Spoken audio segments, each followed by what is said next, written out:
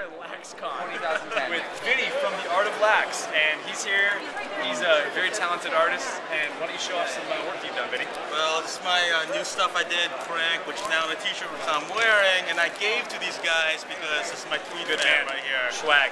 And uh, this is this is the Connor lookalike stunt double, which Connor Wilson. Uh, beautiful. at LaxCon, this is the highest selling thing at LaxCon.